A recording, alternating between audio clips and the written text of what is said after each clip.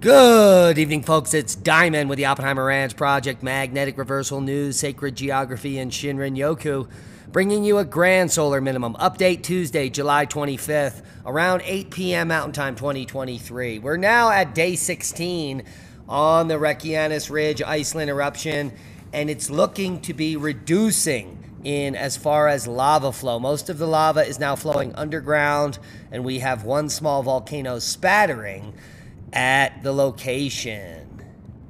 Keep calm, it's boom time. Severe storm slams the I 95 corridor from DC through Massachusetts. Look at that guy's face. Funnels. A funnel cloud was spotted in DC, damage reported in Brooklyn as severe storms sweep through the Northeast and the Mid Atlantic. This was not a tornado but it was a funnel cloud. Look at that. It didn't reach the ground, and it was right above the Capitol. Holy macaroni. Did you hear? 2023, the most large hail ever recorded in Colorado, as predicted. About seven or eight years ago, we began predicting that the largest hail would be falling upon us in the decades to come during the modern grand solar minimum. And the data shows that 2023 is the hailiest season on record in Colorado's history. So, one of the states in the books. Did you see that? 892 severe thunderstorm warnings. Holy macaroni.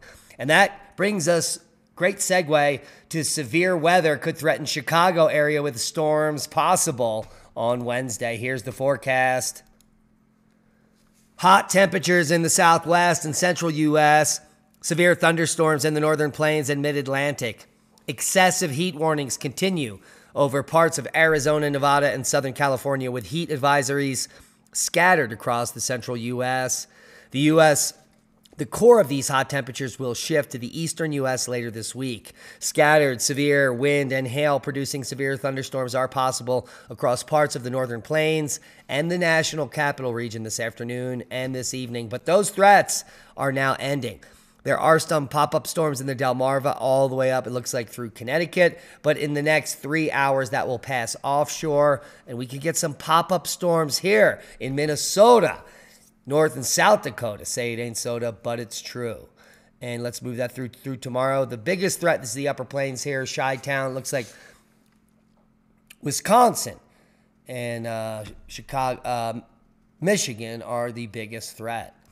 We do have quite a few tropical systems meandering around here in the Atlantic. Here is Tropical Disturbance 3, which may make it all the way to Florida and Rafe off the coast. We're going to show you that in a moment. Tropical Disturbance 1 has 0% chance of doing anything. Tropical Disturbance 2, also low probability. But if we take a look at the GFS model, we move it through.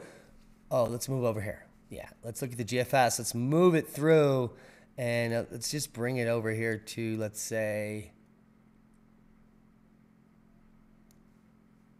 There it is. So this system is going to be coming up the first week of August, August 2nd and 3rd. It is now modeled to be moving towards Florida. Very low pressure system. This is a very severe, maybe Cat 2 storm.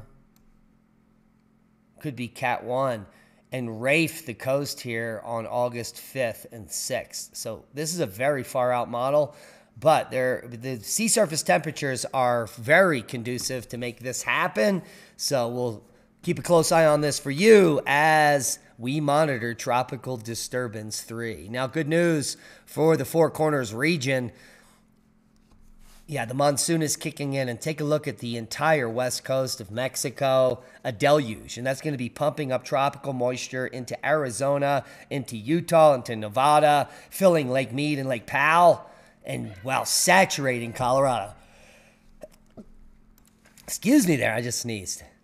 So take a look at that monsoon coming in. Coming in light here through the end of July, but once we hit August, it looks like it's coming in hard for the first week of August for the Four Corners. Good news, we need this moisture. There is a very high fire risk, and we could use one to six inches of rain.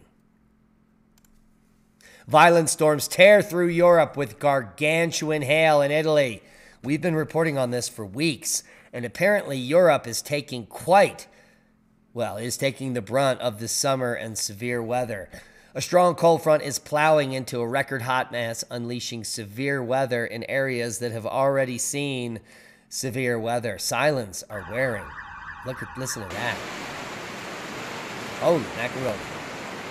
Yeah, that's what a severe storm looks like. So, have you noticed they're really overhyping weather these days? I have. Antarctic posts the coldest temperature since 2017. Polar fronts to battle to batter New Zealand, and solar panel production produces more carbon than the IPCC claim. Scumbags. Seismic update. No quakes of note. Moderate rocker here, 5.5 in central Turkey. We're recovering from a 6 magnitude with some aftershocks, I think, in the Fiji region in the last 24 hours.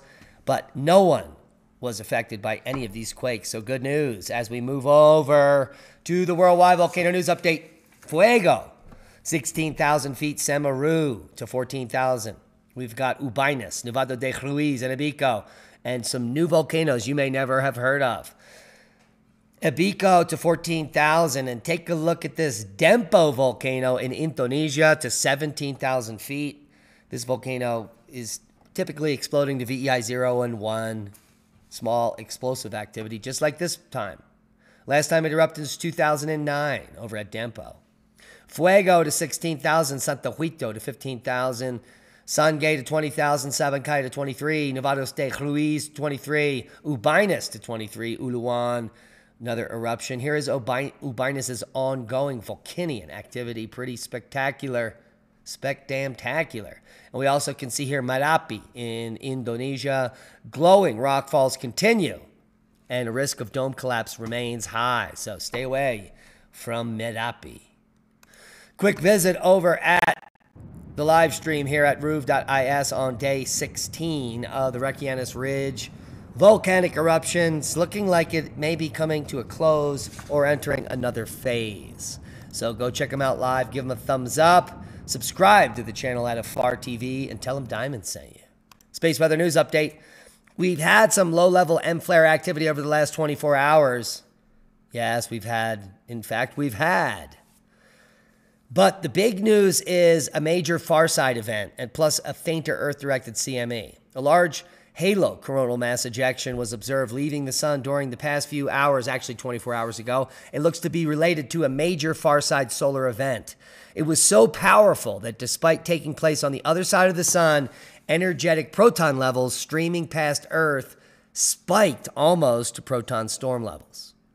Because it was far side, the CME is directed away from the planet and well, not a worry for us. But a faint CME was observed Sunday following a filament eruption and is predicted to reach Earth on the 27th in two days. And a minor G1 geomagnetic storm is forecast, as you can see here, just for three hours at G1. Hours of powers on the 27th. So stay tuned for the updates. Let's take a look at that far side CME, which is spectacular. It's not playing. The view here from Lasco C3 is pretty spectacular. We'll take a look. Look at it when it hits just on the timestamp. Look at that halo. Coronal mass ejection, massive amounts of plasma heading the opposite direction of Earth on C3. We'll come take a quick look at here on slower motion on Lasco C2 and just boom, look at the scale of that. That is a fantastic explosion. Let's stop and just walk it through here. It's actually a little bit forward. See if we can just catch the moment. Right there, look at that. See if we can walk that. Boom. Look at how far it comes in one frame. We can even do that back here. Walk this back all the way back. We could suck that Massive CME back in there. Oh, it's not letting us do it. All right, let's play it out. Here it comes. Look at that. Halo coronal mass ejection. If you've never seen a halo, now you know what a halo is. In all directions. Uh, and if it was coming at Earth, that'd be hitting us. But in fact, it's going exactly in the opposite direction. So that's good news for us. Now, bad news Gulf Stream could collapse as early as 2025. Wow, this is the mainstream catching up with us, and this is bad news for all of humanity, especially Europe. The Gulf Stream system could collapse as soon as 2025, and we're talking about the AMOC, the Atlantic Meridional Overturning Circulation. The shutting down of the vital ocean current called the AMOC would bring catastrophic climate impacts. The AMOC is already known to be at its weakest in 1600 years owing to its to global heating and researchers spotting warning signs of a tipping point in 2021. But new analysis estimates a timescale for the collapse between 2025 and 2095 with a central estimate of 2050. And then they go on to talk about some nonsense about CO2 affecting this circulation, which it does not. There is a regular cycle on Earth of climate, and it has nothing to do with you. It has to do with the sun. Now, Lee and I were away for a quick respite in the desert here, just a few hours to the west, where we visited Canyon of the Ancients and Mesa Verde National Park. And we've published several videos. Tomorrow, we will put the full video of Skull Castle Ruin in the Canyon of the Ancients. But please check out Mesa Verde National Park Tour, Spruce House, Petroglyph Point Trail, and many others, including Cliff House, the largest uh, cliff city known in North America. We would appreciate it. And also come over to our channel, Magnetic Reversal News, and watch quite an amazing expose we put out before we left Climate Alarmism Hysteria. The world is burning up. And share it with like minded people that do not that are sick of the propaganda. And that's a boom to knowledge. Please share this video as we are shadow banned and we need your help to grow. Become a Patreon, support the work we do. I'm exhausted. I've been driving and driving and driving for three days and baking in the sun. I need to go to bed. And that's a boom. We love you. Be safe.